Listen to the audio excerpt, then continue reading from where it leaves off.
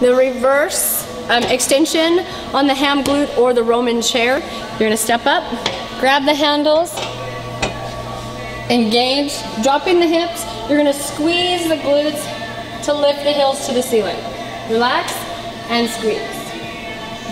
Try not to pull with the arms, just hang on and squeeze. Lifting the head, the chin, neutral spine alignment, Dale.